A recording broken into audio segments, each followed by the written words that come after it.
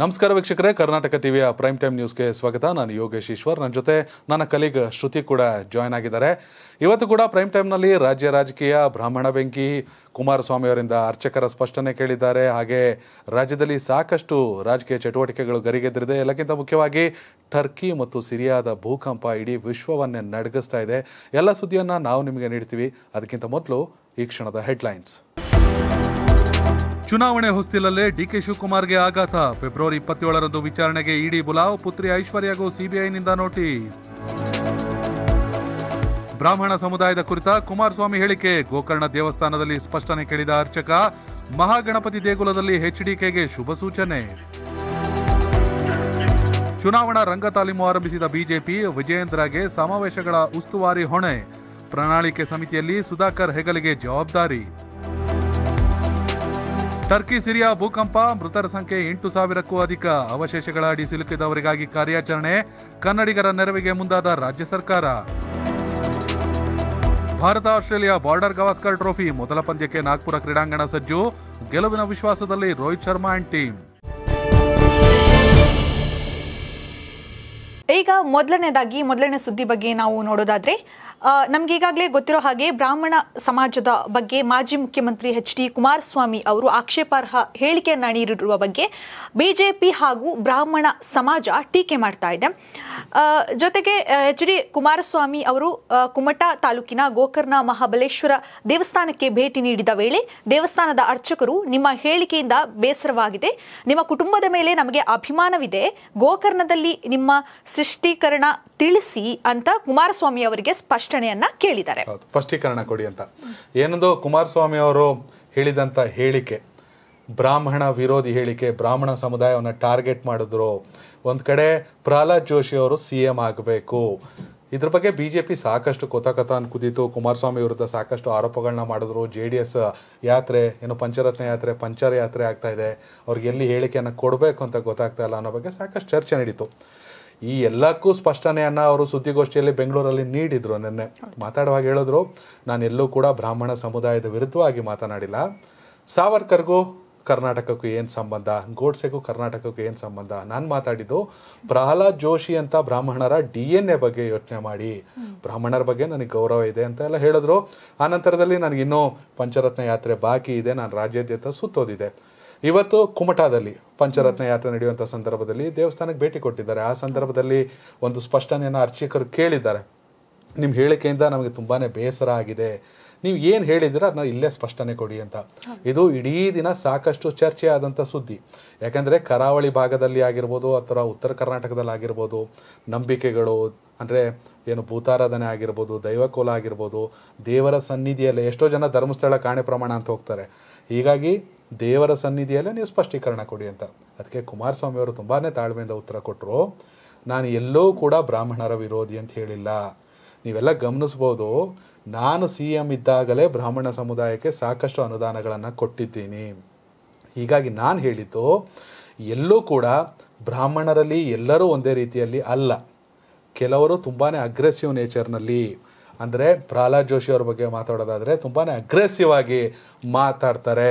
ಅಂಥವರು ರಾಜ್ಯಕ್ಕೆ C M ಆಗಬೇಕಂತ ನಾನು ಪ್ರಶ್ನಿಸಿದ್ದೆ. ಅರೆ ಅವ್ರು ಸಿ ಎಂ ಆಗಬಾರ್ದು ಅಂತ ನಾನೆಲ್ಲೂ ಹೇಳಿಲ್ಲ. ಈ ಕುಮಾರಸ್ವಾಮಿ ಅವರ ಹೇಳಿಕೆಯಲ್ಲಿ ಅವರೇನೋ ಹೇಳಿಕೆ ಕೊಟ್ಬಿಟ್ರು. ಬಿ ಜೆ ಪಿಯಲ್ಲಿ ತುಂಬಾ ಕನ್ಫ್ಯೂಷನ್ನು ಈಗ ಒಂದು ಕಡೆ ಒಪ್ಕೊಳ್ಳೋಕ್ಕೂ ಆಗಲ್ಲ. ಒಪ್ಕೊಂಡ್ಬಿಟ್ರೆ ತುಂಬ ಜನ ಆಕಾಂಕ್ಷಿಗಳು. ಮತ್ತೊಂದು ಕಡೆ ಲಿಂಗಾಯತ್ರಿಗೆ ಸಿ ಎಂ ಮಾಡಬೇಕಾ? ಯಾರಿಗೆ ಸಿ ಎಂ ಮಾಡಬೇಕು? ಹೀಗಾಗಿ ಯಾರನ್ನ ಪೋರ್ಟ್ರೇಟ್ ಮಾಡ್ತಿದ್ದಾರೆ ಕುಮಾರಸ್ವಾಮಿಯವರು ಈ ಮೂಲಕ ಹಾಸನದಲ್ಲಿ ಇರುವಂತಹ ಜೆ ಡಿ ಎಸ್ ಟಿಕೆಟ್ ಗೊಂದಲವನ್ನ ಮುಚ್ಚಿ ಹಾಕೋಕೆ ಅದನ್ನ ಸೈಲೆಂಟ್ ಮಾಡೋಕೆ ಈ ಒಂದು ಹೇಳಿಕೆಯನ್ನು ಹೊರಬಿಟ್ರ. ಹೀಗೆ ಸಾಕಷ್ಟು ಚರ್ಚೆ ನಡೆಯುವಂಥ ಸಂದರ್ಭದಲ್ಲಿ ದೇವಸ್ಥಾನದಲ್ಲಿ ಅವ್ರಿಗೆ ಈ ರೀತಿ ಒಂದು ಸ್ಪಷ್ಟನೆಯನ್ನು ಕೇಳಿದ್ದಾರೆ ಅದಕ್ಕೆ ಉತ್ತರವನ್ನು ಕೂಡ ಕೊಟ್ಟಿದ್ದಾರೆ ಅವರು. ಅವರು ಮುಖ್ಯವಾಗಿ ಮಾತಾಡ್ತಾ ನಾನು ಬ್ರಾಹ್ಮಣ ವಿರೋಧಿ ಹೇಳಿಕೆ ನೀಡಿಲ್ಲ. ನಾನು ಮುಖ್ಯಮಂತ್ರಿ ಆಗಿದ್ದಾಗ ಬ್ರಾಹ್ಮಣ ಸಮುದಾಯ ಭವನಕ್ಕೆ ಜಾಗ ಕೊಟ್ಟೆ. ಬ್ರಾಹ್ಮಣ ಅಭಿವೃದ್ಧಿ ಪ್ರಾಧಿಕಾರ ರಚನೆ ಮಾಡಿದೆ ನಾನು. ಸರ್ವೇ ಜನ ಸುಖಿನ ಭವಂತು ಎನ್ನುವ ಬ್ರಾಹ್ಮಣರು ನಮಗೆ ಬೇಕು. ರಾಮಕೃಷ್ಣ ಹೆಗಡೆ ಅವರನ್ನು ಸಿ ಎಂ ಮಾಡಿದ್ದು ದೇವೇಗೌಡರು. ಇದನ್ನ ನೀವು ನೆನ್ಪಿಟ್ಕೋಬೇಕು ಅಂತ ಹೇಳ್ತಾರೆ. ಇಷ್ಟಲ್ದೇನೆ ಅವ್ರಿಗೆ ಮತ್ತೊಂದು ಕಡೆ ಮುಂದಿನ ದೇವಸ್ಥಾನ, ಶಿವನ ಆತ್ಮಲಿಂಗ ದರ್ಶನ ಪಡೆದ ಹೆಚ್ ಡಿ ಕೆ ನೇರವಾಗಿ ಮಹಾಗಣಪತಿ ದೇವಸ್ಥಾನಕ್ಕೆ ಹೋದ್ರು. ಅಲ್ಲಿ ಪೂಜೆ ಮಾಡುವಾಗ ಹೂ ನೆಲಕ್ಕೆ ಬಿದ್ದಿದ್ದು ಅರ್ಚಕರನ್ನು ಎತ್ಕೊಟ್ಟಿದ್ದಾರೆ. ಅದೊಂದು ಶುಭ ಸೂಚಕ ಅಂತ ಕೂಡ ಹೇಳ್ತಾ ಇದ್ದಾರೆ. ಒಟ್ಟಿನಲ್ಲಿ ಕುಮಾರಸ್ವಾಮಿಯವರು ಹೊತ್ತಿಸಿದ ಬೆಂಕಿ, ಬ್ರಾಹ್ಮಣ ಬೆಂಕಿ ಬಿಜೆಪಿ ಬುಡವನ್ನು ಅಲ್ಲಾಡಿಸಿರೋದಂತೂ ಪಿ ಪಾಳ್ಯದಲ್ಲಿ ಗೊಂದಲವನ್ನು ಸೃಷ್ಟಿಸಿರೋದಂತೂ ಖಂಡಿತವಾಗ್ಲಿದೆ. ನಾವು ನಿನ್ನೆ ಕೂಡ ಇದೇ ವಿಚಾರವಾಗಿ ಚರ್ಚೆ ಮಾಡ್ತಾ ಇದ್ವಿ. ಸರಿ, ಈಗ ಬಿ ಜೆ ಪಿ ನಾಯಕರಿಗೆ ಇದೇ ಪ್ರಶ್ನೆಯನ್ನು ಇಟ್ಟಾಗ, ಹಾಗಾದ್ರೆ ನೀವು ಪ್ರಹ್ಲಾದ್ ಜೋಶಿಯನ್ನ ನಿಮ್ಮ ಸಿ ಎಂ ಅಂತ ಒಪ್ಕೊಳ್ಳಲ್ವಾ? ಇಲ್ಲ ಅಂತ ಹೇಳೋಕ್ಕಾಗಲ್ಲ. ಹೌದು ಅಂತ ಒಪ್ಕೊಳ್ಳೋಕ್ಕೂ ಆಗಲ್ಲ. ಒಪ್ಕೊಂಡ್ರೆ ಡಿಕ್ಲೇರ್ ಮಾಡ್ದಂಗಾಯ್ತು. ಇಲ್ಲ ಅಂದ್ರೆ ವಿರೋಧ ವ್ಯಕ್ತಪಡಿಸ್ದಂಗಾಯ್ತು. ಸರಿ, ಅವ್ರನ್ನೇ ಯಾಕೆ ಆಗಬಾರದು? ಅವ್ರಿಗೆಲ್ಲ ಅರ್ಹತೆ ಇದೆ ಬಿಜೆಪಿಯಲ್ಲಿ. ಬಿಜೆಪಿಯಲ್ಲಿ ಅಂದ್ರೆ ಕೇಂದ್ರದ ಸಚಿವರು ಕೂಡ ಆಗಿದ್ದಾರೆ. ಹೀಗಾಗಿ ಅವ್ರು ಆಗಬಹುದು ತಪ್ಪೇನಿಲ್ಲ ಅಂದ್ರೆ ಲಿಂಗಾಯತರಿಗೆ ಗೊಂದಲ ಆಯ್ತದೆ ಲಿಂಗಾಯತರುಗಳು ಇವು ಒಕ್ಕಲಿಗರಿಗೆ ಗೊಂದಲ ಆಗತ್ತೆ. ಬಿಜೆಪಿಯಲ್ಲಿ ಸಾಕಷ್ಟು ಜನ ಆಸ್ಪರೆಂಟ್ಗಳಿದ್ದಾರೆ. ಹೀಗಾಗಿ ಬಿಜೆಪಿಯ ಮತಗಳನ್ನು ವಿಭಜಿಸೋಕೆ ಇಂಥ ಒಂದು ಹೇಳಿಕೆಯನ್ನು ಕೊಟ್ರ. ಯಾಕೆಂದ್ರೆ ಬಿಜೆಪಿಯಲ್ಲಿ ಲಿಂಗಾಯತ ಸಮುದಾಯದ ಅತಿ ದೊಡ್ಡ ಪರಮೋಚ್ಚ ನಾಯಕ ಅಂದ್ರೆ ಬಿ ಎಸ್ ಯಡಿಯೂರಪ್ಪ ಅವರು. ಸದ್ಯ ಅವರಿಗೆ ಆಟದಲ್ಲಿ ಇಲ್ಲ. ಬೊಮ್ಮಾಯಿ ಅವ್ರನ್ನ ತಗೊಂಡ್ರು ಅವರು ಲಿಂಗಾಯತರು. ಹೀಗಾಗಿ ಹಂಗಾರೆ ಅವ್ರನ್ನ ಚೇಂಜ್ ಮಾಡ್ಬೇಕಾ? ಈ ತರ ಪ್ರಶ್ನೆ. ಈ ತರ ಪ್ರಶ್ನೆಗಳು ಎಲ್ಲೂ ಕೂಡ ಬಿಜೆಪಿ ಆಗ್ಲಿ ಈವನ್ ಕಾಂಗ್ರೆಸ್ ಆಗ್ಲಿ, ಎಲ್ಲೂ ಕೂಡ ಚುನಾವಣೆ ಸಂದರ್ಭದಲ್ಲಿ ನಮ್ಮ, ತಮ್ಮ ಸಿ ಎಂ ಅಭ್ಯರ್ಥಿ ಯಾರು ಅನ್ನೋದನ್ನ ಇನ್ನೂ ಸ್ಪಷ್ಟನೆ ಕೊಟ್ಟಿಲ್ಲ. ಇದರ ಉದ್ದೇಶ ಜನರಿಗೆ ಬೇಕು. ಇದು ಜನಕ್ಕೆ ತಲುಪಬೇಕು ಅಂತ ಕುಮಾರಸ್ವಾಮಿ ಅವರು ಹೇಳ್ತಿರೋದು. ಈಗ J D S Kumaraswamy C M Congress ಅಲ್ಲಿ ಯಾರು? ಮೇಲ್ನೋಟಕ್ಕೆ ಇರುವಂತಹ war D K Shi versus Siddaramaiah. ಅಲ್ಲೂ ಕೂಡ ಆಕಾಂಕ್ಷಿಗಳಿದ್ದಾರೆ. ಬಿಜೆಪಿಯಲ್ಲಿ ಯಾರು? ಅಮಿತ್ ಶಾ ಅವ್ರು ಹೇಳಿದ್ರು. ನಾವು ಬೊಮ್ಮಾಯಿ ನೇತೃತ್ವದ ಚುನಾವಣೆಗೆ ಹೋಗ್ತೀವಿ. ಹೌದು, ನಿಜ ಒಪ್ಕೊಂಡ್ರಿ. ಆದರೆ ಚುನಾವಣೆ ನಂತರದಲ್ಲೂ ಕೂಡ ನಮ್ಮ ಸಿಮ ಸಿ ಎಂ ಅಭ್ಯರ್ಥಿ ಬೊಮ್ಮಾಯಿ ಅಂತ ಎಲ್ಲೂ ಕೂಡ ಹೇಳಿಲ್ಲ. ಹೀಗಾಗಿ ಬಿ ಜೆ ಪಿಯಲ್ಲಿ ಕೂಡ ಬೊಮ್ಮಾಯಿ ಅವರ ಆಯ್ಕೆ ಆಗೋ ಟೈಮಲ್ಲಿ ಅರವಿಂದ್ ಬೆಲ್ಲದಾಗಿರ್ಬೋದು ಸಿ ಟಿ ರವಿ ಆಗಿರ್ಬೋದು, ಅಶ್ವಥ್ ನಾರಾಯಣ ಆಗಿರ್ಬೋದು, ಮುರುಗೇಶ್ ನಿರಾಣಿ ಆಗಿರ್ಬೋದು, ಶೋಭಾ ಕಲ, ಕರಂದ್ಲಾಜೆ ಅವರ ಹೆಸರು ಕೂಡ ಬಂದಿತ್ತು. ಇಷ್ಟೆಲ್ಲ ಚರ್ಚೆಗಳಿದ್ದಾಗ ಯಾರನ್ನ ಪೋರ್ಟ್ರೇಟ್ ಮಾಡಬೇಕು, ಕುಮಾರಸ್ವಾಮಿ ಯಾರ ಹೆಗಲ ಮೇಲೆ ಬಂದೂಕನ್ನ ಇಟ್ಟು ಹೊಡಿತಾ ಇದ್ದಾರೆ ಬಿ ಜೆ ಪಿಗೆ ಅನ್ನೋದು ಸ್ಪಷ್ಟ ಆಗ್ತಾ ಇಲ್ಲ. ಇದು ರಾಜಕೀಯ ಒಂದು ಕಡೆ ಆದರೆ ಅರ್ಚಕರು ಬ್ರಾಹ್ಮಣರು ಕೂಡ ಕೇಳಿದ್ದಾರೆ. ಅದಕ್ಕೆ ಅವ್ರು ಸ್ಪಷ್ಟನೆಯನ್ನು ಕೊಟ್ಟಿದ್ದಾರೆ. ಇದು ಮುಂಬರ ದಿನಗಳಲ್ಲಿ ಯಾವ ರೀತಿ ತಿರುವನ್ನು ಪಡ್ಕೊಳ್ಳುತ್ತೆ ಅನ್ನೋದನ್ನ ನೋಡ್ಬೇಕಷ್ಟೇ. ಹೌದು.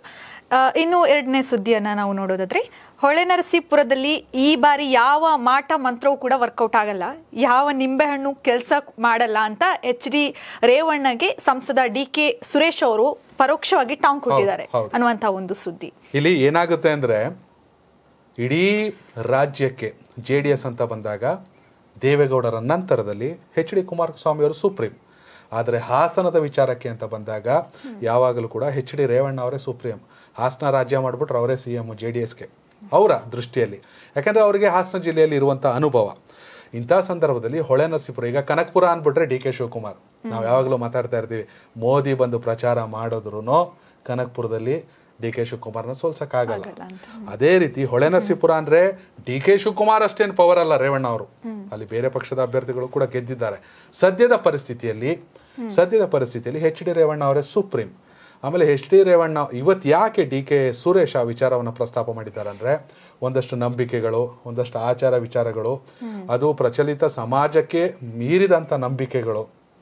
ಯಾವುದೋ ಒಂದು ಟಿಕೆಟ್ ಅನೌನ್ಸ್ ಮಾಡುವಾಗ ಜಾ ಅಂದ್ರೆ ಟೈಮ್ ಅನ್ನ ನೋಡೋದು ಎಲ್ಲ ಮಾಡ್ತಾರೆ ಇಲ್ಲ ಅಂತೇನಲ್ಲ. ಯಾವ್ದು ಕಾರ್ಯಕ್ರಮಕ್ಕೆ ಹೋದಾಗ ನಿಂಬೆಹಣ್ಣು ಇಟ್ಕೊಂಡಿರೋದು. ಈ ಹಿಂದೆ ಅದು ಸುದ್ದಿ ಮಾಡಿತ್ತು. ಹಲವಾರು ರೀತಿಯಾಗಿ ಹೀಗಾಗಿ ಇಂಥ ಸಂದರ್ಭದಲ್ಲಿ ಇವತ್ತು D K Shivakumar D K Suresh ಅವರು ಹೊಳೆನರಸೀಪುರದಲ್ಲಿ ರೇವಣ್ಣ ಅವರ ಭದ್ರಕೋಟೆಯಲ್ಲಿ ಯಾಕೆ ಗುಡುಗಿದಾರಂದ್ರೆ ಅಂದ್ರೆ ರೇವಣ್ಣ ಅವರ ಜೊತೆ ಗುರುತಿಸ್ಕೊಂಡಿದ್ದಂತ ಸಾಕಷ್ಟು ಕಾಂಗ್ರೆಸ್ ಜೆ ಡಿ ಎಸ್ನ ನಾಯಕರುಗಳು ಇವತ್ತು ಕಾಂಗ್ರೆಸ್ ಸೇರ್ಪಡೆ ಆಗಿದ್ದಾರೆ. ನಾವು ಬದಲಾವಣೆಯನ್ನ ಮಾಡಕ್ ಹೊರಟಿದ್ದೇವೆ. ಹೊಳೆ ನರಸೀಪುರದಲ್ಲಿ ಕೂಡ ನಾವು ಜೆ ಡಿ ಎಸ್ ಅನ್ನ ಸೋಲಿಸುವಂತ ಕೆಪಾಸಿಟಿ ನಮಗಿದೆ.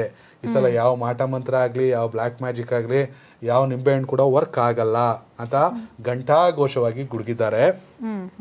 ಮತ್ತೊಂದು ಕಡೆ ಜೆ ಡಿ ಎಸ್ನ ಹಲವು ಮುಖಂಡರು ಹಾಗೂ ಕಾರ್ಯಕರ್ತರು ಜೆ ಡಿ ಎಸ್ ತೊರೆದು ಇವತ್ತು ಕಾಂಗ್ರೆಸ್ ಸೇರ್ಪಡೆಯಾದರು ಅದರಲ್ಲಿ ಡಿ ಕೆ ಸುರೇಶ್ ಅವರ ನೇತೃತ್ವದಲ್ಲಿ ಪುರಸಭೆ ಮಾಜಿ ಅಧ್ಯಕ್ಷ ಪುಟ್ಟರಾಜು ಸೇರಿ ಹಲವರು ಕಾಂಗ್ರೆಸ್ ಸೇರ್ಪಡೆಯಾದರು ಬಳಿಕ ಮಾತನಾಡಿದ ಡಿ ಕೆ ಸುರೇಶ್ ಹೊಳೆ ನರಸೀಪುರದ ಬದಲಾವಣೆ ಹೊಳೆ ನರಸೀಪುರದಲ್ಲಿ ಬದಲಾವಣೆ ಇತಿಹಾಸ ಪುಟ ಸೇರಬೇಕು. ಬಿಗಿ ಹಿಡಿತ ಹಾಗೂ ಬಿಗಿಯಾದ ವಾತಾವರಣ ಈ ಕ್ಷೇತ್ರದಲ್ಲಿದೆ. ನಾವು ನಿಮ್ಮ ನೋವಿಗೆ ನೋವಿಗೆ ಸ್ಪಂದಿಸುವ ಕೆಲಸವನ್ನು ಮಾಡ್ತೀವಿ ಅಂದ್ಬಿಟ್ಟು ರೇವಣ್ಣ ಅವರ ಕ್ಷೇತ್ರಕ್ಕೆ ಹೋಗಿ ರೇವಣ್ಣ ಅವರ ವಿರುದ್ಧವೇ ಗುಡುಗಿದ್ದಾರೆ. ಅದಕ್ಕೆ ಕಾರಣ ಒಂದಷ್ಟು ಕಾರ್ಯಕರ್ತರುಗಳು ಒಂದಷ್ಟು ಸ್ಥಳೀಯ ಜೆ ಡಿ ಎಸ್ ನಾಯಕರು ಕಾಂಗ್ರೆಸ್ಗೆ ಸೇರ್ಪಡೆ ಆಗಿರೋದು. ಈಗ ಚುನಾವಣೆ ಸಂದರ್ಭದಲ್ಲಿ ಈ ಥರ ಬಾಂಬ್ಗಳು, ಈ ರೀತಿ ಹೇಳಿಕೆಗಳು ಇವೆಲ್ಲ ಸಹಜ. ಆದರೆ ಕಾಂಗ್ರೆಸ್ ಅಂದುಕೊಂಡಷ್ಟು ಸುಲಭವೂ ಅಲ್ಲ, ಜೆ ಡಿ ಎಸ್ ಅಂದುಕೊಂಡಷ್ಟು ಕಷ್ಟವೂ ಅಲ್ಲ.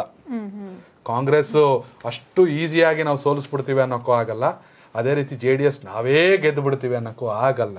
ಹೀಗಾಗಿ ಏನ್ ಬೇಕಾರಾಗ್ಬೋದು ಚುನಾವಣೆ ಸಂದರ್ಭದಲ್ಲಿ ಕಾರ್ಯಕರ್ತರು ಸೇರಿರೋರಿಂದ ಕಾಂಗ್ರೆಸ್ಗೆ ಬಂದಿರೋರಿಂದ ಒಂದಷ್ಟು ಹುಮ್ಮಸ್ಸಿನಿಂದ ಮಾತಾಡಿದ್ದಾರೆ. ಇನ್ನು ಇನ್ನೊಂದು ಸುದ್ದಿಯನ್ನು ನಾವು ನೋಡೋದಾದ್ರೆ ಚುನಾವಣೆ ಹೊಸ್ತಿಲಲ್ಲಿ ಇರುವಾಗಲೇ ಕೆಪಿಸಿಸಿ ಅಧ್ಯಕ್ಷ ಡಿ ಕೆ ಶಿವಕುಮಾರ್ ಅವರಿಗೆ ಮತ್ತೆ ಇಡಿ ಕಂಟಕ ಶುರುವಾಗಿರುವಂತಹದ್ದು. ಫೆಬ್ರವರಿ ಇಪ್ಪತ್ತ ಏಳರಂದು ಅವರಿಗೆ ಇಡಿ ಮುಂದೆ ಹಾಜರಾಗಲು. ಆಲ್ರೆಡಿ ಅವರಿಗೆ ನೋಟಿಸ್ ಅನ್ನ ನೀಡಲಾಗಿದೆ ಅನ್ನೋದು. ಅವರ ಮಗ್- ಮಗಳನ್ನ ಕೂಡ ಮಗಳಿಗೂ ನೋಟಿಸ್ ನೀಡಿರುವಂತಹದ್ದು. ಸೊ ಇದ್ರ ಬಗ್ಗೆ. ಅಂದ್ರೆ ಹೆಂಗಾಗಿದೆ ಅಂದ್ರೆ ಹೌದು ಇರ್ಬೋದು. ಅಕ್ರಮ ಹಣ ವರ್ಗಾವಣೆ ಆರೋಪ. ಈ ವಿಚಾರಕ್ಕೆ ಇಡೀ ಕ, ಇಕ್ಕಳದಲ್ಲಿ ಸಿಲುಕಿ ಒದ್ದಾಡ್ತಾ ಇದ್ದಾರೆ D K Shivakumar. D K Shivakumar ಅವ್ರಿಗೆ ಇರುವಂಥ ಧೈರ್ಯ ಅವ್ರಿಗಿರುವಂಥ ಗಟ್ಸು ಅವ್ರಿಗಿರುವಂಥ ಜನಬಲ ಅವ್ರಿಗಿರುವಂಥ ಹಣಬಲ ಎಲ್ಲವನ್ನ ಮೀರಿ ಕೇಂದ್ರದಲ್ಲಿ ಬಿ ಜೆ ಪಿ ಸರ್ಕಾರ ಇದೆ. ಅವ್ರು ಯಾವಾಗಲೂ ಆರೋಪ ಮಾಡ್ತಿರ್ತಾರೆ, ಸಿದ್ದರಾಮಯ್ಯ ಅವರು ಕೂಡ ಹೇಳ್ತಿರ್ತಾರೆ, ಇ ಡಿ ಆಗಿರ್ಬೋದು, ಸಿ ಬಿ ಐ ಆಗಿರ್ಬೋದು, ಈ ಸರ್ಕಾರದ ಸಂಸ್ಥೆಗಳೆಲ್ಲವೂ ಕೂಡ ಬಿ ಜೆ ಪಿಯ ಸಂಸ್ಥೆಗಳಾಗಿ ಕೆಲಸ ಮಾಡ್ತಾ ಇವೆ. ಯಾವಾಗಲೂ ಕೂಡ ಈ ಹಿಂದೆ ಸೋನಿಯಾ ಗಾಂಧಿ ಮತ್ತು ರಾಹುಲ್ ಗಾಂಧಿ ಅವ್ರನ್ನ ಕೂಡ ಇಡಿ ಸಂಕಷ್ಟದಲ್ಲಿ ಸಿಲುಕಿಸಿ ಪದೇ ಪದೇ ವಿಚಾರಣೆ ಮಾಡಿದ್ರು. ಆ ಸಂದರ್ಭದಲ್ಲಿ ದೇಶಾದ್ಯಂತ ಪ್ರತಿಭಟನೆಗಳಾಯಿತು. ಇದೀಗ ಡಿ ಕೆ ಶಿವಕುಮಾರ್ ಕೂಡ ಜೈಲಿಗೆ ಹೋಗಿ ಬಂದವರು ತಿಹಾರ ಜೈಲಿಗೆ. ಮತ್ತೊಂದು ಕಡೆ ಅವ್ರ ಮೇಲೆ ರಮೇಶ್ ಜಾರಕಿಹೊಳಿ ಮಾಡಿರುವಂಥ ಸಿ ಡಿ ಆರೋಪ. ಯಾಕಂದ್ರೆ ಸಿ ಡಿ ಆರೋಪ ಎರಡು ಸಾವಿರದ ಇಸವಿಯಿಂದ ಹಿಡಿದು ಇಲ್ಲಿವರೆಗೂ ಹೆಚ್ಚು ಕಡಿಮೆ ಇಪ್ಪತ್ತ್ ಮೂರನೇ ವರ್ಷ ಸಾಕಷ್ಟು ಜನ ರಮೇಶ್ ಜಾರಕಿಹೊಳಿ ಯಾರು ಹೇಳಿದ್ರು ಸುಮಾರು ನೂರ ಇಪ್ಪತ್ತೆಂಟು ಜನರ ಸಿ ಡಿ ಅಂದರೆ ಅದರಲ್ಲಿ ಜನಪ್ರತಿನಿಧಿಗಳು ಆಗಿರ್ಬೋದು ಅಥವಾ ಅಧಿಕಾರಿಗಳು ಆಗಿರ್ಬೋದು ಎಲ್ಲರನ್ನ ಬ್ಲ್ಯಾಕ್ ಮೇಲ್ ಮಾಡಿಕೊಂಡು ಡಿ ಕೆ ಶಿವಕುಮಾರ್ ಸಾವಿರಾರು ಕೋಟಿಯ ಒಡೆಯಾಗಿದ್ದಾರೆ. ನನ್ನನ್ನ ನೀವು ಸಮಾಜದ ಮುಂದೆ ನನ್ನ ಮರ್ಯಾದೆಗೆ ಧಕ್ಕೆ ತರುವಂತ ಕೆಲಸವನ್ನ ಮಾಡಿದ್ವಿ. ಹೀಗಾಗಿ ರಾಜಕೀಯವಾಗಿ ನಿಮ್ಮನ್ನ ಮುಗಿಸ್ಬೇಕು ಅಂತ ರಮೇಶ್ ಜಾರಕಿಹೊಳಿ ಸವಾಲು ಹಾಕಿದ್ರು. ಹೋಗಿ ಅಮಿತ್ ಶಾ ಅವ್ರನ್ನ ಮೀಟ್ ಮಾಡಿ ಬಂದ್ರು. ಹೀಗಾಗಿ ಈ ಚುನಾವಣೆ ಸಂದರ್ಭದಲ್ಲಿ ಡಿ ಕೆ ಶಿವಕುಮಾರ್ ಯಾವುದಕ್ಕೂ ತಲೆ ಕೆಡಿಸ್ಕೊಳ್ಳಲ್ಲ ತನ್ನ ಕೆಲಸ ಆಯ್ತು, ತಾನಾಯ್ತು ಅಂತ ಮುನ್ನುಗ್ತಾ ಇದ್ದಾರೆ. ಪಕ್ಷವನ್ನ ಗೆಲ್ಲಿಸ್ಬೇಕು ಅಧಿಕಾರಕ್ಕೆ ತರಬೇಕು ನಾನೇ ಸಿ ಎಂ ಆಗಬೇಕು ಅನ್ನೋದು ಕೂಡ ಅವರಿಗಿದೆ. ಇದು ಸಾಕಷ್ಟು ಸಂದರ್ಭದಲ್ಲಿ ಬಹಿರಂಗವಾಗಿ ಕೂಡ ಸಾಬೀತಾಗಿದೆ. ಆದರೂ ಕೂಡ ಸಾಮೂಹಿಕ ನಾಯಕತ್ವದಲ್ಲಿ ನಾವು ಮುಂದೆ ಸಾಕ್ತೀವಿ ಅಂತ ಹೇಳುವಂಥ ಡಿ ಕೆ ಶಿವಕುಮಾರ್ ಅವ್ರನ್ನ ಒಂದಷ್ಟು ಡಿಸ್ಟರ್ಬ್ ಮಾಡಬೇಕು. ಸಿ ಡಿ ಒಂದು ಪ್ರಕರಣದಲ್ಲಿ ಸಿ ಡಿ ಫ್ಯಾಕ್ಟರಿ ಆರೋಪದಲ್ಲಿ ಅವರು ಅಷ್ಟಾಗಿ ವಿಚಲಿತರಾದಂತೆ ಕಂಡು ಬರ್ತಿಲ್ಲ. ಹೀಗಾಗಿ ಕೇಂದ್ರ ಸರ್ಕಾರದ ಬಳಿ ಇರುವಂಥ ಅಸ್ತ್ರ ಇ ಡಿ ಅಸ್ತ್ರ ಮತ್ತೊಂದು ಕಡೆ ಅವರ ಮಗಳಿನ ಹೆಸರಿನಲ್ಲಿ ಇರುವಂಥ ಶಾಲೆಯಲ್ಲಿ ಪ್ರತಿಯೊಂದು ಬಿಲ್ ಆಗಿರ್ಬೋದು ಶಾಲೆಯ ಫೀಸ್ ಆಗಿರ್ಬೋದು ಎಕ್ಸಾಮ್ ಫೀಸ್ ಫೀಸ್ ಆಗಿರ್ಬೋದು ಎಲ್ಲಕ್ಕೆ ಸಂಬಂಧಪಟ್ಟಂತೆ ನಮಗೆ ಮಾಹಿತಿ ಕೊಡಬೇಕು ಅಂತ ಅವರಿಗೆ ಕೂಡ ನೋಟಿಸ್ ಕೊಟ್ಟಿದೆ ಸಿ ಬಿ ಐ ಅಂದರೆ ಡಿ ಕೆ ಶಿವಕುಮಾರ್ ಇವತ್ತು ಮಾತಾಡ್ತಾ ನಾನು ನೋಡಿದೆ ಏನೆಲ್ಲ ಕೊಡ್ಬೇಕ್ರಿ ಇವ್ರಿಗೆ? ಇಲ್ಲಿವರೆಗೂ ಕೂಡ ಯಾವೆಲ್ಲ ಎನ್ಕ್ವೈರಿಗಳು ಕರೆದಿದ್ದಾರೆ ನಾನು ಹೋಗಿದ್ದೀನಿ. ವಿಚಾರಣೆಗಳನ್ನ ಅಟೆಂಡ್ ಮಾಡಿದ್ದೀನಿ. ಈಗ ನನ್ನ ಕರೆದಿದ್ದಾರೆ ಓಕೆ. ಈಗ ನನ್ನ ಮಗಳು ಶಾಲೆಯಲ್ಲಿ ಕೂಡ ಎಲ್ಲದಕ್ಕೂ ಮಾಹಿತಿ ಕೊಡಬೇಕು ಅಂತ ಕೇಳ್ತಾರೆ. ಇನ್ನು ಏನೇನು ಕೇಳ್ತಾರೋ ಗೊತ್ತಿಲ್ಲ ಅಂತ ಬಟ್ ಅವ್ರು ಕಾನ್ಫಿಡೆಂಟ್ ಆಗಿದ್ದಾರೆ ಅವರೆಲ್ಲೂ ಕೂಡ ತಲೆ ಕೆಡಿಸ್ಕೊಂಡಿಲ್ಲ. ತುಂಬಾ ಸ್ಟ್ರಾಂಗ್ ಪರ್ಸನ್ ಅಂತ ಅನ್ಸುತ್ತಲ್ವಾ ಸರ್ ಇಷ್ಟೆಲ್ಲ ಆರೋಪಗಳು ಅವ್ರ ಬಗ್ಗೆ ಇದ್ರು ಎಲ್ಲಾನು ಇದ್ರು ಅದನ್ನ ಒಂದು ತಾಳ್ಮೆಯಿಂದ ಕೂಲ್ ಆಗಿ ಪ್ರಜಾಧ್ವನಿ ಯಾತ್ರೆಯಲ್ಲಿ ತನ್ನ ಹೌದು. ಕನಕಪುರ ಬಂಡೆ. ಬಂಡೆ ಅಂತ ಅದಕ್ಕೆ ಕರೀತಾರೆ ಅವ್ರನ್ನ. ಖಂಡಿತ. ಯಾಕಂದ್ರೆ ಇಲ್ಲ ಎಲ್ಲರಿಗೂ ಕೂಡ ಒಂದಷ್ಟು ಗೊಂದಲಗಳು ಒಂದಷ್ಟು ವ್ಯತ್ಯಾಸಗಳು ನಮ್ಮ ದೇಶದಲ್ಲಿ ಚಿದಂಬರಂ ಅವ್ರನ್ನೇ ನಡಗಿಸ್ಬಿಟ್ರು. ಹೀಗಾಗಿ ಎಲ್ಲರ ಮೇಲೆ ಕೂಡ ಆರೋಪಗಳು ಬರುತ್ತೆ. ಆದರೆ ಅದಕ್ಕೆ ತಕ್ಕನಾಗಿ ನಾವೆಲ್ಲ ಲೆಕ್ಕಾಚಾರಗಳನ್ನ ಇಟ್ಕೊಂಡಿದ್ದೀನಿ ನನ್ನ ಕಡೆ ಕೂಡ ಡಾಕ್ಯುಮೆಂಟ್ಸ್ ಪರ್ಫೆಕ್ಟ್ ಆಗಿದೆ. ನಾನು ಯಾವ್ದಕ್ಕೂ ತಲೆ ಕೆಡ್ಸ್ಕೊಳ್ಳೋ ಅವಶ್ಯಕತೆ ಇಲ್ಲ. ಹಂಗನ್ಬಿಟ್ಟು ವಿಚಲಿತರಾಗಿ ನನ್ನ ಕಾರ್ಯಕ್ರಮಗಳನ್ನ ನಿಲ್ಲಿಸೋ ಅವಶ್ಯಕತೆ ಇಲ್ಲ. ನಾನು ಎಲ್ಲಿ ಮುಂದುವರಿಬೇಕು ಅಲ್ಲಿ ಮುಂದುವರಿತಾ ಇದ್ದೀನಿ ಅಂತ ಅವರು ಗುಡುಗಿದ್ದಾರೆ. ನೋಡಬೇಕು ವಿಚಾರಣೆ ಕರೆದಿದ್ದಾರೆ ಇದೇನೆಲ್ಲ ಆಗುತ್ತೆ ಅಂತ. ಮುಂದಿನ ಸುದ್ದಿ ಮುಂಬರೋ ವಿಧಾನಸಭೆ ಚುನಾವಣೆಗಾಗಿ ಬಿಜೆಪಿ ವಿಜಯ ಸಂಕಲ್ಪ ಅಭಿಯಾನವನ್ನ ಕೈಗೊಳ್ತಾ ಇದೆ. ಜೊತೆಗೆ ಬಿಜೆಪಿ ಪೇಜ್ ಪ್ರಮುಖರ ಸಮಾವೇಶ ಕೂಡ ನಡೆಸ್ತಾ ಇದೆ. ಇದಾದ ನಂತರ ರಾಜ್ಯದ ನಾಲ್ಕು ದಿಕ್ಕುಗಳಿಂದಲೂ ರಥಯಾತ್ರೆಯನ್ನು ಆರಂಭಿಸಲು ಮುಂದಾಗಿದೆ. ಈ ನಡುವೆ ಚುನಾವಣಾ ಪೂರ್ವ ಸಿದ್ಧತಾ ಕಾರ್ಯಕ್ರಮಗಳಿಗೆ ಬಿಜೆಪಿ ಜವಾಬ್ದಾರಿಯನ್ನ ಹಂಚಿಕೆಯನ್ನ ಮಾಡಿದೆ ಅನ್ನುವಂಥದ್ದು. ಅಂದ್ರೆ ಇಲ್ಲಿ ಪ್ರಮುಖವಾಗಿ ಯಾರ್ಯಾರಿಗೆ ಏನೇನು ಜವಾಬ್ದಾರಿ? ಬಿಜೆಪಿಯ ರಂಗ ತಾಲೀಮು. ಅದಾಗಲೇ ಶುರುವಾಗಿ ಹೋಗಿದೆ. ಎಲೆಕ್ಷನ್ ಹೆಂಗ್ ಮಾಡಬೇಕು ಹೇಗೆ ಮಾಡಬೇಕು ಎಲ್ಲ ಆಪರೇಷನ್ ಮಾಡಬೇಕು ಯಾವ ಕ್ಷೇತ್ರಗಳಲ್ಲಿ ಯಾವ ಭಾಗದಲ್ಲಿ ನಾವು ವೀಕ್ ಇದ್ದೀವಿ ಅದನ್ನ ಹೇಗೆ ಸರಿಪಡಿಸ್ಕೋಬೇಕು ಹೈಕಮಾಂಡ್ ಹೇಳ್ಬಿಟ್ಟಿರ್ತಾರೆ. ನಾವು ಸ್ವಂತ ಬಲದ ಮೇಲೆ ಅಧಿಕಾರಕ್ಕೆ ಬರಲೇಬೇಕು. ಯಾವ ಕಾರಣಕ್ಕೂ ಕೊನೆ ಕ್ಷಣದಲ್ಲಿ ಒದ್ದಾಟಗಳು ಆಪರೇಷನ್ಗಳು ರಾಜೀನಾಮೆ ಕೊಡಿಸೋದು. ಈಗಾಗಲೇ ಕಳೆದ ಬಾರಿ ಬಿ ಜೆ ಪಿ ಮಾಡಿರುವಂಥ ಆಪರೇಷನ್ಗೆ ಜನ ಬೇಸರ ವ್ಯಕ್ತಪಡಿಸಿದ್ದಾರೆ. ಜನಬಲವನ್ನ ಮೀರಿ ರಾಜಕೀಯವನ್ನು ಮಾಡುವಂಥ ಕೆಪಾಸಿಟಿ ಬಿ ಜೆ ಪಿಗಿದೆ ಬಿ ಜೆ ಪಿ ಅಂದರೆ ಬಿ ಜೆ ಪಿ ಅಂದರೆ ವಾಜಪೇಯಿ ಅಥವಾ ಅಡ್ವಾಣಿ ಸಮಯದ ರಾಜಕೀಯ ಅಂತೂ ರಾಜಕೀಯವನ್ನು ಬಿ ಜೆ ಪಿ ಮಾಡ್ತಾ ಇಲ್ಲ. ಇದು ಚಾಣಾಕ್ಷ ಅಮಿತ್ ಶಾ ಮತ್ತು ಮೋದಿಯವರ ಟೈಮ್ ಇದು. ಈ ಟರ್ಮ್ನಲ್ಲಿ ಅವ್ರು ಹೇಗೆ ಬೇಕಾದ್ರೂ ಅಧಿಕಾರವನ್ನು ಬದಲಾಯಿಸ್ತಾರೆ. ಯಾವ ಪಕ್ಷಗಳು ಅಧಿಕಾರದಲ್ಲಿದ್ದರೂ ಕೂಡ ಅವ್ರನ್ನ ರಾಜೀನಾಮೆ ಕೊಡಿಸಿ ಮತ್ತೆ ಕೇಸರಿಯನ್ನು, ಕಮಲವನ್ನು ಅರಳಿಸೋ ಪ್ರಯತ್ನವನ್ನು ಮಾಡ್ತಾರೆ. ಇಂಥ ಸಂದರ್ಭದಲ್ಲಿ ಒಂದಷ್ಟು ಜವಾಬ್ದಾರಿ ಈಗ ಈಗಾಗಲೇ ಬ್ಯಾಕ್ ಟು ಬ್ಯಾಕ್ ಮೋದಿ ಬರ್ತಾ ಇದ್ದಾರೆ, ಅಮಿತ್ ಶಾ ಬಂದಾಯಿತು, ಜೆ ಪಿ ನಡ್ಡಾ ಬಂದಾಯಿತು. ಎಲ್ಲಕ್ಕಿಂತ ಹೆಚ್ಚಾಗಿ ಸಂಘ ಪರಿವಾರದ ಬಲ ಬಿ ಜೆ ಪಿ ಬೆನ್ನೆಲುಬಾಗಿದೆ. ಇಲ್ಲಾಂದರೆ ಕಷ್ಟ ಬಿ ಜೆ ಪಿಗೆ ಯಾರು ಬೇಕಾದ್ರೆ ಹೇಳ್ತಾರೆ ಬಿ ಜೆ ಪಿಯಲ್ಲಿ ಸದ್ಯ ಇರುವಂಥ ರಾಜ್ಯದ ನಾಯಕರುಗಳನ್ನು ಇಟ್ಕೊಂಡು ಸಂಘ ಪರಿವಾರದ ಬೆಂಬಲವಿಲ್ಲದೆ ಚುನಾವಣೆಯನ್ನು ಗೆಲ್ತೀವಿ ಅನ್ನೋದು ಸುಳ್ಳು. ಅತಿ ದೊಡ್ಡ ಶಕ್ತಿ ಸಂಘ ಪರಿವಾರ. ಎಲ್ಲಕ್ಕಿಂತ ಹೆಚ್ಚಾಗಿ ಸದ್ಯ ಬಿ ಎಲ್ ಸಂತೋಷ್ ಅವರು. ಸಂತೋಷ್ ಜಿ ಅವರು ಕೂಡ ಪ್ರತಿ ಕ್ಷೇತ್ರಗಳಲ್ಲಿ ಯಾವ ರೀತಿ ವರ್ಕೌಟ್ ಮಾಡಬೇಕು. ಸಿದ್ದರಾಮಯ್ಯ ಅವರು ಸಿದ್ದರಾಮಯ್ಯ ಅವರು ನಾನು ಕೋಲಾರದಲ್ಲಿ ನಿಲ್ತೀನಿ ಅಂತ ಎರಡನೇ ಸಲ ಹೋಗಿ ಬರ್ತಿದ್ದಂಗೆನೆ ಕೋಲಾರಕ್ಕೆ ಹೋದರು ಸಂತೋಷ್ ಅವರು. ಜೆ ಪಿ ಕಾರ್ಯಕರ್ತನ ಸೇರಿಸಿ ಪ್ರತಿಯೊಬ್ಬರನ್ನು ಮಾತಾಡಿಸಿ ಯಾವ ಮಟ್ಟದಲ್ಲಿ ಯಾವ ರೀತಿ ಕೆಲಸ ಆಗಬೇಕು ಅಂತ. ಇಂಥ ಸಂದರ್ಭದಲ್ಲಿ ಈಗ ಒಂದಷ್ಟು ಜವಾಬ್ದಾರಿಗಳನ್ನ ಡಿಸ್ಟ್ರಿಬ್ಯೂಟ್ ಮಾಡಿದ್ದಾರೆ.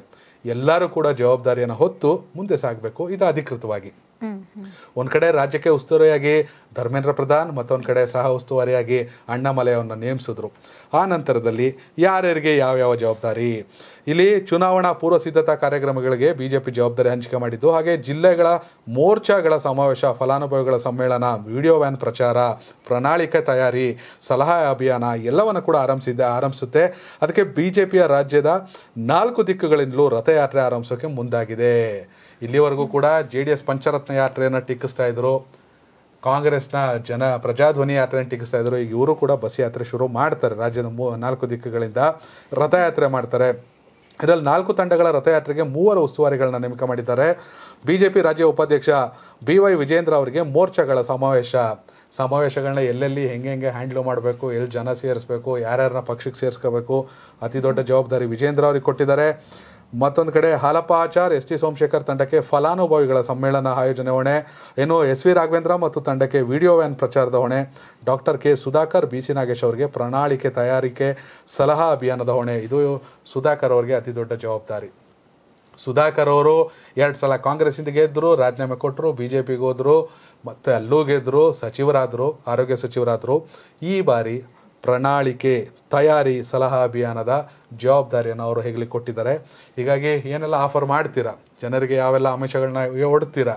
ಯಾವ ರೀತಿ ತಮ್ಮ ಪ್ರಣಾಳಿಕೆ ಮೂಲಕ ಬಿ ಜೆ ಪಿಗೆ ಮತ ಹಾಕುವಂತೆ ಎಲ್ಲರನ್ನ ಓಲೈಸ್ಕೊಳ್ ಓಲೈಸಿಕೊಳ್ತೀರಾ? ಎಲ್ಲರನ್ನ ವಿಶ್ವಾಸಕ್ಕೆ ತೆಗೆದುಕೊಳ್ತೀರಾ? ಅತಿ ದೊಡ್ಡ ಜವಾಬ್ದಾರಿ. ಒಂದು ಕಡೆ ಸುಧಾಕರ್, ಮತ್ತೊಂದು ಕಡೆ ವಿಜಯೇಂದ್ರ. ನೆಕ್ಸ್ಟ್ ಜನರೇಷನ್ ಹೀರೋಗಳಾಗಿ ಯಾವ ರೀತಿ ಕೆಲಸ ಮಾಡ್ತಾರೆ ಅನ್ನೋದು ಅತಿ ದೊಡ್ಡ ಲೀಡರ್ಗಳ ಕೆಲಸ ಮಾಡ್ತಾರೆ ದೊಡ್ಡ ಸವಾಲು. ಈ ಈ ಜವಾಬ್ದಾರಿಯೊಂದಿಗೆ ಬಿಜೆಪಿಯ ಅಸಲಿ ರಂಗ ತಾಲೀಮು ಶುರುವಾಗಿದೆ ಅಂತ ಹೇಳ್ಬೋದು. ಹೌದು. ಅಂದ್ರೆ ಈಗ ನೋಡ್ತಾನೆ ಇರ್ತೀವಿ ಯಾತ್ರೆಗಳು ಒಂದಲ್ಲ ಒಂದು ಶುರು ಆಗ್ತಾನೆ ಇದೆ. ಜೊತೆಗೆ ಈಗ ಕಾಂಗ್ರೆಸ್ ಇದು ಲಾಸ್ಟ್ ಟೈಮ್ ನಾ ನಾಯಕಿ ಅನ್ನುವಂತ ಒಂದು ಪ್ರೋಗ್ರಾಮು ಆಯ್ತು. ಅಲ್ಲಿನೂ ಕೂಡ ಅಷ್ಟೇ ಗೃಹಲಕ್ಷ್ಮಿ ಅನ್ನುವಂತ ಒಂದು ಯೋಜನೆನ.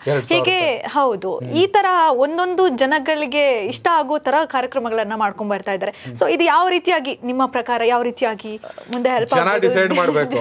ಇಲ್ಲ ನಾವು ಯಾವಾಗ್ಲೂ ಮಾತಾಡ್ತಾ ಇರ್ತೀವಿ. ನಾನಾಗ್ಲಿ ಸತೀಶ್ ಆಗ್ಲಿ ಅಥವಾ ಶಿವ ಆಗ್ಲಿ ನಿಮ್ಮನೆ ಚರಂಡಿ ಬಗ್ಗೆ ಸಮಸ್ಯೆ. ನಿಮ್ಮೂರಿನ ಡ್ರೈನೇಜ್ ಸಮಸ್ಯೆ ನಿಮ್ಮೂರಿನ ರಸ್ತೆಗಳ ಸಮಸ್ಯೆ ಅದನ್ನ ಬಗೆಹರಿಸೋಕ್ಕೆ ಯಾರು? ಮೋದಿ ಬರ್ತಾರಾ? ರಾಹುಲ್ ಗಾಂಧಿ ಬರ್ತಾರಾ? ಇಲ್ಲ. ನಾವು ಜೆ ಡಿ ಎಸ್ ವಿಚಾರಕ್ಕೂ ಬರೋದಾದರೆ ಓಕೆ ಆಪ್ ವಿಚಾರಕ್ಕೆ ಬರೋದ್ರೆ ಕೇಜ್ರಿವಾಲ್ ಬರ್ತಾರಾ? ಇಲ್ಲ. ಕುಮಾರಸ್ವಾಮಿ ಅವ್ರು ಬರ್ತಾರಾ? ಇಲ್ಲ. ಬರಲೂಬಹುದೇನೋ? ಇಲ್ಲ ಅಂತ ಹೇಳೋಕ್ಕಾಗಲ್ಲ. ನಾವೇನು ಜೆ ಡಿ ಎಸ್ ಪರವಾಗಿ ಮಾತಾಡ್ತಾ ಇಲ್ಲ. ಕೈಗೆ ಸಿಗುವಂಥ ನಾಯಕರುಗಳಲ್ಲಿ ಪ್ರಾದೇಶಿಕ ಪಕ್ಷವಾಗಿ ಕುಮಾರಸ್ವಾಮಿ ಅವರಿಗೆ ಆ ವರ್ಚಸ್ಸಿದೆ. ಅವ್ರು ಬರ್ತಾರೆ. ಎಲ್ಲಿ ಸಿಂಪಲ್ ಆಗಾರು ಸುತ್ತಕ್ಕೆ ರೆಡಿ ಇವತ್ತು ಅರ್ಚಕರಿಗೆ ಸ್ಪಷ್ಟನೆಯನ್ನು ಕೊಟ್ಟಿದ್ದಾರೆ. ಅರ್ಚಕರಿಗೆ ಫೋನ್ ಮಾಡಿ ಮಾತಾಡಿದ್ದಾರೆ. ಎಲ್ಲವನ್ನು ಹೇಳಿದ್ದಾರೆ. ಹೀಗಾಗಿ ನಿಮ್ಮ ಸಮಸ್ಯೆಗಳನ್ನು ಬಗೆಹರಿಸುವಂಥ ನಾಯಕರನ್ನ ಆಯ್ಕೆ ಮಾಡಿ. ಪ್ರತಿ ಸಲ ಹೇಳ್ತಿರ್ತೀವಿ, ಕರ್ನಾಟಕ ಟಿ ವಿಯ ಎಕ್ಸ್ ಕಲೀಗ್ ಚಂದನ್ ಅಂದ್ಬಿಟ್ಟು ಕೆ ಆರ್ ಪೇಟೆ ಕಾನ್ಸ್ಟಿಟ್ಯೂನ್ಸಿಲಿ ಎಲೆಕ್ಷನ್ ಕಂಟೆಂಟ್ ಮಾಡ್ತಿದ್ದಾರೆ. ಅವರನ್ನು ನೋಡ್ರೆ ಗೊತ್ತಾಗುತ್ತೆ. ಎರಡು ಸಾವಿರದ ಇಪ್ಪತ್ತೆಂಟರ ಚುನಾವಣೆ ಈ ರೀತಿ. ಜನಬಲ, ಹಣಬಲ, ಆಮಿಷಗಳು, ಹಣ ಗಿಫ್ಟ್ ಬಾಕ್ಸ್ಗಳು ಇವುಗಳಲ್ಲಿ ನಡೆಯಲ್ಲ. ಖಂಡಿತ ಬದಲಾಗೇ ಆಗುತ್ತೆ. ಯಾಕಂದ್ರೆ ಈ ಬಾರಿಯ ಚುನಾವಣೆಯಲ್ಲಿ ಕೂಡ ಒಂದು ಹಿರಿಯ ನಾಯಕರುಗಳು ಒಂದಷ್ಟು ಆರೋಪ ಇರೋ ನಾಯಕರುಗಳು ಒಂದಷ್ಟು ಬ್ಯಾಕ್ ಟು ಬ್ಯಾಕ್ ಗೆದ್ದಿರೋಂಥವ್ರು ಎಲ್ಲರೂ ಕೂಡ ಫಿಲ್ಟರ್ ಆಗ್ತಾರೆ. ಎಷ್ಟೋ ಜನರ ಪಾಲಿಗೆ ಇದು ಕಡೆ ಚುನಾವಣೆ ಆಗ್ಬೋದು ಅಥವಾ ಈ ಚುನಾವಣೆಯಲ್ಲೇ ಅವಕಾಶ ಸಿಗದೆ ಕೂಡ ಇರ್ಬೋದು. ಇನ್ನು ನೆಕ್ಸ್ಟ್ ಜನರೇಷನ್ ಹೊಸ ಜನರೇಷನ್ ಅವರು ರಾಜಕೀಯಕ್ಕೆ ಬರ್ತಾರೆ. ಹೀಗಾಗಿ ಈ ಎಲ್ಲ ಆಸೆ ಆಮಿಷಗಳು ನಾವು ಅದೇ ಲೆಕ್ಕ ಆಗ್ತಾ ಇದ್ವಿ, ಎರಡು ಸಾವಿರ ರೂಪಾಯಿ ಕೊಡ್ತೀವಿ ಪರ್ ಮಂತು ಎಲ್ಲಿಂದ ಕೊಡ್ತೀರಾ? ಒಂದು ಸಾವಿರ ಕೋಟಿ ಬೇಕು ಪರ್ ಮಂತು ಎಲ್ಲಿಂದ ಕೊಡ್ತೀರಾ? ಕುಮಾರಸ್ವಾಮಿ ಅವರು ಇಡೀ ರಾಜ್ಯದ ರೈತರ ಸಾಲ, ಸುಮಾರು ಇಪ್ಪತ್ತೇಳು ಸಾವಿರ ಕೋಟಿ ಸಾಲವನ್ನು ನಾನು ಮನ್ನಾ ಮಾಡ್ತೀನಿ ಅಂದಾಗ, ಇದೇ ಸಿದ್ದರಾಮಯ್ಯ ಅವರು ರಾಜ್ಯದ ಆರ್ಥಿಕ ಪರಿಸ್ಥಿತಿ ಉಲ್ಟಾ ಆಗುತ್ತೆ. ಎಲ್ಲರಿಗೂ ಕೂಡ ಹೊರೆ ಬರುತ್ತೆ ಆಗಲ್ಲ ಅಂತ ಹೇಳಿದ್ರು. ಈಗ ಅದೇ ಸಿದ್ದರಾಮಯ್ಯ ಅವರು ಡಿ ಕೆ ಶಿವಕುಮಾರ್ ಅವರು ಗೃಹಲಕ್ಷ್ಮಿ ಅಂತ ಹೇಳ್ತಿದ್ದಾರೆ.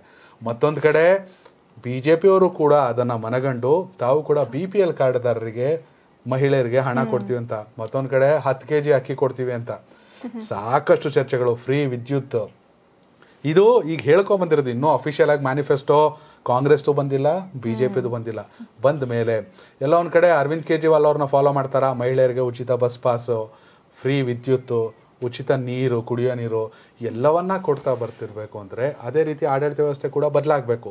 ಜನರಿಗೂ ಈ ಕಡೆ ದುಡ್ಡು ಕೊಟ್ಟು ಜನರಿಂದನೂ ಈ ಕಡೆ ದುಡ್ಡು ಕೀಳ್ತಾ ಬಂದ್ರೆ ರಾಜ್ಯದ ಖಜಾನೆ ಖಾಲಿ ಆಗುತ್ತೆ ಅಷ್ಟೇನೆ. ಬೇರೆ ಏನೂ ಆಗಲ್ಲ. ಹೀಗಾಗಿ ಯಾವ ರೂಪದಲ್ಲಿ ಹಣವನ್ನು ತಂದು ಯಾವ ರೂಪದಲ್ಲಿ ಜನರಿಗೆ ಕೊಡಬೇಕು ರಾಜ್ಯದ ಬಜೆಟನ್ನು ಯಾವ ರೀತಿ ಮಂಡಿಸ್ಬೇಕು ಯಾವ ರೀತಿ ಆಮಿಷಗಳು ಅನ್ನೋಕ್ಕಿಂತ ಹೆಚ್ಚಾಗಿ ಯೋಜನೆಗಳನ್ನ ರೂಪಿಸ್ಬೇಕು. ಆಮಿಷ ಅನ್ನೋ ಪದನೇ ಬದಲಾಯಿಸ್ಬೇಕು ಅವ್ರ ಪ್ರಣಾಳಿಕೆಯಲ್ಲಿ.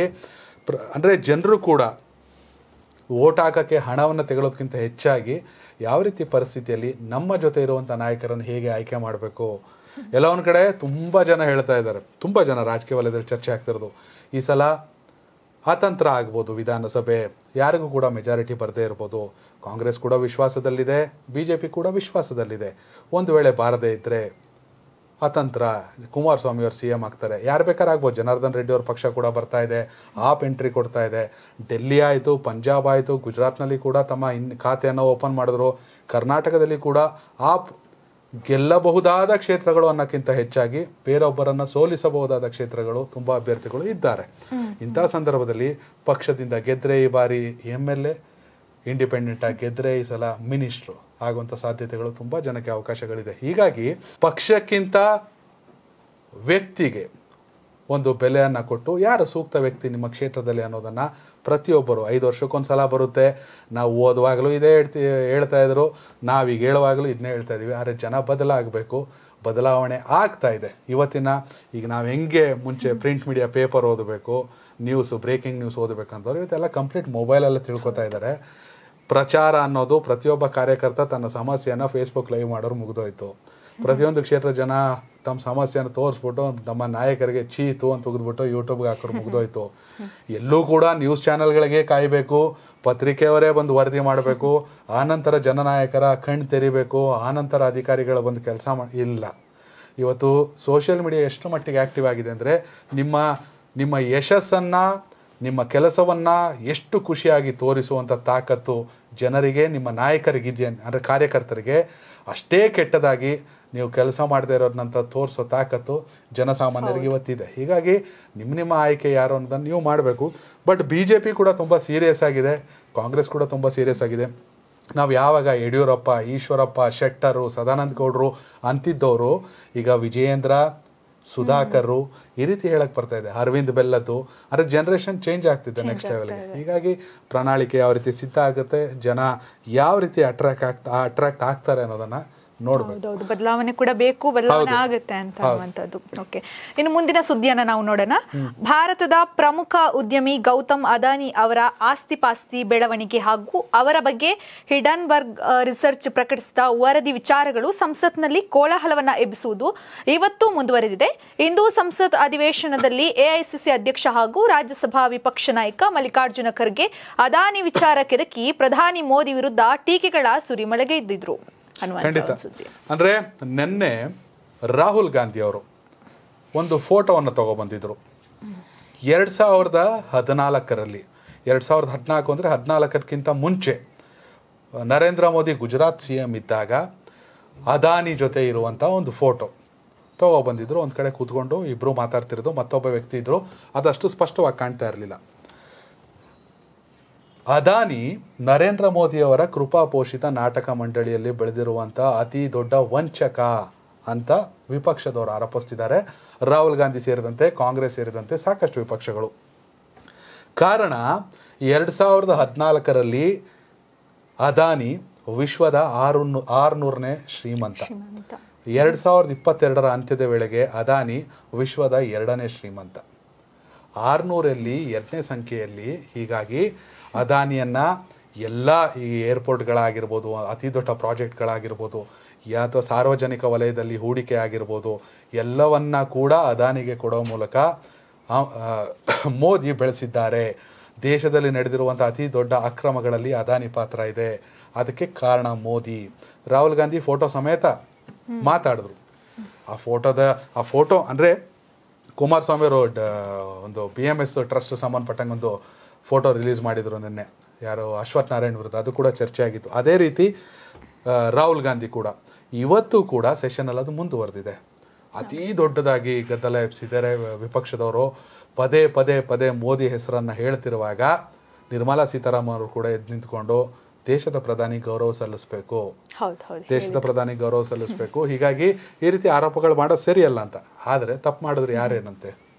ಎಷ್ಟೋ ದೇಶದ ನಾಯಕರುಗಳು ಅಧ್ಯಕ್ಷರುಗಳನ್ನ ಜನರೇ ದಾರಿಯಲ್ಲಿ ಅವರ ಆಟವನ್ನು ಮುಗಿಸಿದ್ದಾರೆ. ಎಷ್ಟೋ ಜನ ಸರ್ವಾಧಿಕಾರಿಗಳಂತೆ ಮೆರೆದವರು ತಮ್ಮ ಕೆಲಸಗಳನ್ನ ನಿಲ್ಲಿಸಿದ್ದಾರೆ ಇಲ್ಲಿ ಮೋದಿ ತಪ್ಪು ಮಾಡಿದಾರೋ ಅದಾನಿ ತಪ್ಪು ಮಾಡಿದಾರೋ ಯಾರು ತಪ್ಪು ಮಾಡಿದಾರೋ ಗೊತ್ತಿಲ್ಲ.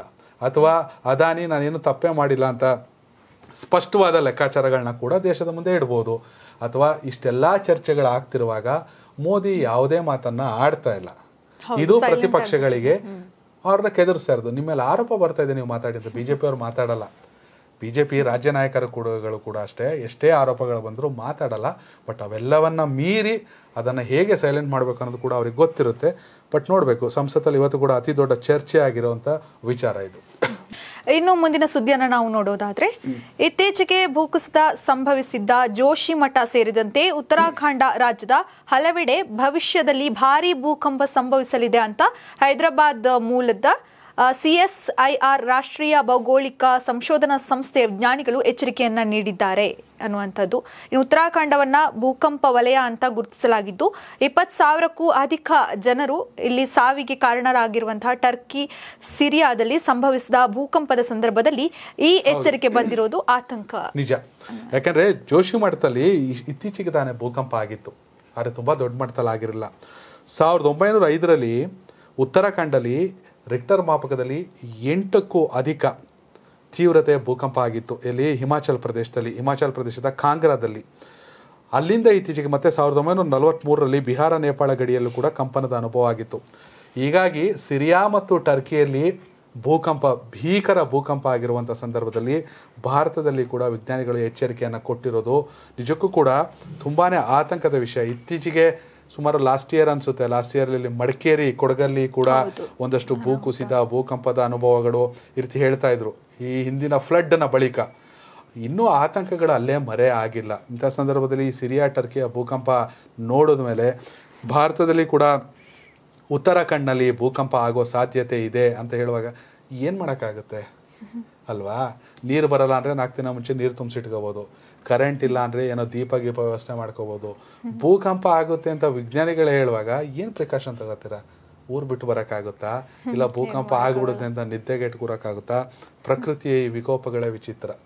ಹೀಗಾಗಿ ಇದೊಂದು ರೀತಿ ಆತಂಕದ ವಿಚಾರ. ಇದ್ರ ಬಗ್ಗೆ ಕೂಡ ವಿಜ್ಞಾನಿಗಳು ಏನು ಕ್ರಮ ಕೈಗೊಳ್ಳಬೇಕು ಏನು ಮಾಡಬೇಕು ಎಲ್ಲಿ ಭೂಕಂಪದ ಕೇಂದ್ರ ಬಿಂದು ಕಾಣಿಸ್ಬಹುದು ಅಥವಾ ಯಾವ ಪ್ರದೇಶದಲ್ಲಿ ಲಾಸ್ಟ್ ಟೈಮ್ ಅದೇ ಸಾವಿರದ ಒಂಬೈನೂರ ಐದರಲ್ಲಿ ಹಿಮಾಚಲ್ ಪ್ರದೇಶದ ಕಾಂಗ್ರಾದಲ್ಲಿ ಆಗಿತ್ತು ಅಂತ ಹೇಳ್ತಿದ್ದಾರೆ. ಹೀಗಾಗಿ ಒಂದು ರೀತಿ ಆಘಾತಕಾರಿ ಸುದ್ದಿ ಅಂತಲೇ ಹೇಳ್ಬೋದು. ಹೌದು. ಓಕೆ ಮುಂದಿನ ಸುದ್ದಿಯನ್ನು ನೋಡೋಣ. ಭಾರತ ಹಾಗೂ ಆಸ್ಟ್ರೇಲಿಯಾ ನಡುವಣ ಬಾಳ್ ಬಾರ್ಡರ್ ಗವಾಸ್ಕರ್ ಸರಣಿಯ ಮೊದಲ ಪಂದ್ಯ ನಾಳೆಯಿಂದ ನಾಗಪುರದಲ್ಲಿ ಆರಂಭವಾಗಲಿದೆ. ಟೀಮ್ ಇಂಡಿಯಾವನ್ನ ತವರಿನಲ್ಲಿ ತೋ- ಸೋಲಿಸುವುದು ಕಾಂಗಾರುಗಳಿಗೆ ಸುಲಭವಲ್ಲ. ಖಂಡಿತ. ಒಂದ್ ಕಡೆ ಅಲಾನ್ ಬಾರ್ಡರ್ ಆಸ್ಟ್ರೇಲಿಯಾದ ದಿಗ್ಗಜ ಕ್ರಿಕೆಟಿಗ ಮತ್ತೊಂದು ಕಡೆ ಸುನಿಲ್ ಗವಾಸ್ಕರ್ ಭಾರತದ ದಿಗ್ಗಜ ಕ್ರಿಕೆಟಿಗ. ಹೀಗಾಗಿ ಭಾರತ ಮತ್ತು ಆಸ್ಟ್ರೇಲಿಯಾ ತಂಡಗಳು ಟೆಸ್ಟ್ ಸರಣಿಯನ್ನು ಆಡುವಂತ ಸಂದರ್ಭದಲ್ಲಿ ಅಲಾನ್ ಬಾರ್ಡರ್ ಸರಣಿ ಅಂತ ಹೇಳ್ತಾರೆ. ಬಾರ್ಡರ್ ಗವಾಸ್ಕರ್ ಸರಣಿ ಅಂತ ಹೇಳ್ತಾರೆ. ಇದು ಈಗ ಭಾರತ ಈ ಸರಣಿಯಲ್ಲಿ ಕಳೆದ ಮೂರು ಸರಣಿಗಳನ್ನ ಸೋತಿಲ್ಲ. ಸೋತಿಲ್ಲ. ಹೀಗಾಗಿ ಭಾರತದಲ್ಲಿ ಈ ಸಲ ನಡೀತಾ ಇದೆ ರೋಹಿತ್ ಶರ್ಮಾ ಕ್ಯಾಪ್ಟನ್ಸಿಯಲ್ಲಿ ನಾಗ್ಪುರದಲ್ಲಿ. ಆಸ್ಟ್ರೇಲಿಯಾ ಟೀಮ್ ಇತ್ತೀಚೆಗಷ್ಟೇ ಬೆಂಗಳೂರಿಗೆ ಬಂದಿತ್ತು. ಬೆಂಗಳೂರಿನ ಆಲೂರಿನಲ್ಲಿ ಕ್ರಿಕೆಟ್ ಗ್ರೌಂಡ್ನಲ್ಲಿ ಒಂದು ನಾಲ್ಕೈದು ದಿನ ಅಭ್ಯಾಸವನ್ನು ಮಾಡಿದ್ರು. ಯಾಕೆಂದರೆ ಭಾರತೀಯ ಕಂಡೀಷನ್ಗೆ ಹೊಂದ್ಕೋಬೇಕು. ಈಗ ನಾವು ಆಸ್ಟ್ರೇಲಿಯಾಗ ಸೀರೀಸ್ಗೆ ಹೋಗ್ಬೇಕಂದ್ರೆ ಅಲ್ಲಿ ಕಂಡೀಷನ್ಗೆ ಹೊಂದ್ಕೋಬೇಕು ಅಂತ ಒಂದಷ್ಟು ಮುಂಚೆ ಓಟ್ ಪ್ರಾಕ್ಟೀಸ್ಗಳೆಲ್ಲ ಮಾಡ್ತಾರೆ. ಈ ಬಾರಿ ಕೂಡ ಆಸ್ಟ್ರೇಲಿಯಾಗೆ ಪ್ಯಾಟ್ ಕಮಿನ್ಸ್ ಕ್ಯಾಪ್ಟನ್ ಭಾರತಕ್ಕೆ ರೋಹಿತ್ ಶರ್ಮಾ ಕ್ಯಾಪ್ಟನ್ ಸಾಕಷ್ಟು ಯಶಸ್ಸುಗಳು. ಒಂದು ಕಡೆ ಟೆಸ್ಟ್ ರ್ಯಾಂಕಿಂಗ್ನಲ್ಲಿ ಅಗ್ರಸ್ಥಾನಕ್ಕೆ ಇರಬೇಕು. ಟೆಸ್ಟ್ ಚಾಂಪಿಯನ್ಶಿಪ್ನಲ್ಲಿ ಗೆಲ್ಲಬೇಕು. ಕಳೆದ ಬಾರಿ ನ್ಯೂಜಿಲೆಂಡ್ ಮೇಲೆ ಸೋತಿತ್ತು ಭಾರತ ತಂಡ. ಈ ಪ್ರತಿ ಸರಣಿಗಳನ್ನು ಗೆಲ್ತಾ ಹೋದಾಗ ಮಾತ್ರ ನಾವು ವಿಶ್ವ ಟೆಸ್ಟ್ ಚಾಂಪಿಯನ್ಶಿಪ್ನ ಫೈನಲ್ಗೆ ಹೋಗ್ತೀವಿ. ಹೀಗಾಗಿ ಪ್ರತಿ ಪಂದ್ಯ ಕೂಡ ಮುಖ್ಯ. ನಾಳೆಯಿಂದ ನಾಗ್ಪುರದಲ್ಲಿ ಮ್ಯಾಚ್ ಆರಂಭ ಆಗುತ್ತೆ. ಬೆಳಗ್ಗೆ ಒಂಬತ್ತು ಮೂವತ್ತಕ್ಕೆ ಪಂದ್ಯ ಆರಂಭ ಆಗುತ್ತೆ. ಖಂಡಿತ ಸಾಕಷ್ಟು ವಿಚಾರಗಳಿಂದ ಭಾರತ ತಂಡದ ನೆಕ್ಸ್ಟ್ ಜನ್ರೇಷನ್ಗೆ ಒಂದಷ್ಟು ಅನುಭವಿಗಳು ಹಿಂದೆ ಸರಿಬೇಕು, ಒಂದಷ್ಟು ಹೊಸ ಮುಖಗಳಿಗೆ ಅವಕಾಶ ಕೊಡಬೇಕು. ಈ ಸರಣಿಯಲ್ಲಿ ಒಂದಷ್ಟು ಹೊಸ ಮುಖಗಳಿಗೆ ಅವಕಾಶವನ್ನು ಕಟ್ಟಿದ, ಕೊಟ್ಟಿದ್ದಾರೆ. ಭವಿಷ್ಯದಲ್ಲಿ ಭಾರತ ಟೆಸ್ಟ್ ತಂಡವನ್ನು ಹಿಂದೆ ಫ್ಯಾಬ್ ಫೋರ್ ಅಂತ ಹೇಳ್ತಾ ಇದ್ರು. ಸೌರವ್ ಗಂಗೂಲಿ, ವೀರೇಂದ್ರ ಸೆಹ್ವಾಗ್, ಸಚಿನ್ ತೆಂಡೂಲ್ಕರ್, ಮತ್ತೊಂದು ಕಡೆ ವಿ ವಿ ಎಸ್ ಲಕ್ಷ್ಮಣ್. ಈ ನಾಲ್ವರು ಅಂದರೆ ಭಾರತ ಟೆಸ್ಟ್ ತಂಡ. Top order, best performance top ಆರ್ಡರ್ನ ಕೊಲ್ಯಾಪ್ಸ್ ಮಾಡೋಕ್ಕಾಗಲ್ಲ. ಒಂದು ವೇಳೆ ಈ ನಾಲ್ವರನ್ನು ಕಟ್ಟ ಹಾಕಿದ್ರೆ ಭಾರತ ತಂಡವನ್ನು ಸೋಲಿಸ್ಬೋದು ಅಂತ. ಅಂಥ ನಾಲ್ವರು ಈಗ ಪ್ರೆಸೆಂಟ್ ಯಾರು? ಭವಿಷ್ಯಕ್ಕೆ ಭಾರತ ತಂಡವನ್ನು ಹೇಗೆ ಭದ್ರಪಡಿಸಬೇಕು? ಅನ್ನೋದು ತುಂಬ ಚರ್ಚೆ. ಇದು ಭಾರತದ ಪಾಲಿಗೆ ಪ್ರತಿಷ್ಠಿತ ಸರಣಿ. ಜೊತೆಯಲ್ಲಿ ಭಾರತದಲ್ಲೇ ನಡೆಯುತ್ತಿರುವಂತಹ ಆಶಿ, ಆಸೀಸ್ ಆಟಗಾರರನ್ನು ಭಾರತೀಯ ಕಂಡೀಷನಲ್ಲಿ ಸೋಲ್ಸೋದು ಕಷ್ಟವೇನಲ್ಲ. ನಮ್ಮ ಕಂಡೀಷನ್ ನಮ್ಮ ಹೋಮ್ ಕಂಡಿ ಕಂಡೀಷನ್ ಆಗಿರುತ್ತೆ. ಹೀಗಾಗಿ ಆದರೂ ಕೂಡ ಆಸ್ಟ್ರೇಲಿಯಾ ತಂಡವನ್ನು ಲಘುವಾಗಿ ಪರಿಗಣಿಸುವಂತಿಲ್ಲ. ಬೆಳಗ್ಗೆಯಿಂದ ನಾಳೆ ಬೆಳಗ್ಗೆಯಿಂದ ಎಲ್ಲರೂ ಕೂಡ ಟೆಸ್ಟ್ ಮ್ಯಾಚ್ನ ಹವ ಇದು ಶುರು ಆಗುತ್ತೆ ನಾಗ್ಪುರದಲ್ಲಿ. ವೀಕ್ಷಕರ ಮುಗಿಸೋಣ? ಮುಗಿದ ವೀಕ್ಷಕರ ವೀಕ್ಷಕರೇ ಇದು ಇವತ್ತಿನ ಪ್ರೈಮ್ ಟೈಮ್ ಕೆಲವೇ ಹೊತ್ತಿನಲ್ಲಿ ರಾಜ್ಯ ರಾಜಕೀಯ ದೇಶ, ವಿದೇಶ, ಭೂಕಂಪದ ಬೇಸರದ ಸಂಗತಿಗಳು, ಜೊತೆಯಲ್ಲಿ ಕ್ರಿಕೆಟ್ ಬಗ್ಗೆ ನಾಳೆಯಿಂದ ಭಾರತ ಮತ್ತು ಆಸ್ಟ್ರೇಲಿಯಾ ಟೆಸ್ಟ್ ಸರಣಿ ಆರಂಭ ಆಗುತ್ತೆ. ಎಲ್ಲ ಮಾಹಿತಿಯನ್ನು ಕೊಡೋ ಪ್ರಯತ್ನವನ್ನು ಮಾಡಿದ್ದೀವಿ. ಈಗ ನಾನು ಮತ್ತು ಶ್ರುತಿ ಹೊರಡುವಂಥ ಸಮಯ. ಕರ್ನಾಟಕ ಟಿವಿ, ಇದು ಕನ್ನಡಿಗರ ಧ್ವನಿ.